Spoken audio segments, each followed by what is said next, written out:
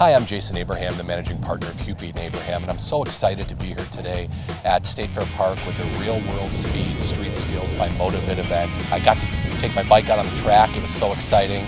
Uh, watching these guys go so fast and execute all these turns is amazing.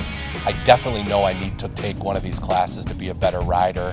Uh, I was so darn slow, uh, but I had to be cautious. But just seeing how they run this event and everything they're doing, it's amazing. And you know, at Hupy and Abraham, we're just so excited to give back and be involved in such a great event. So I'm having fun.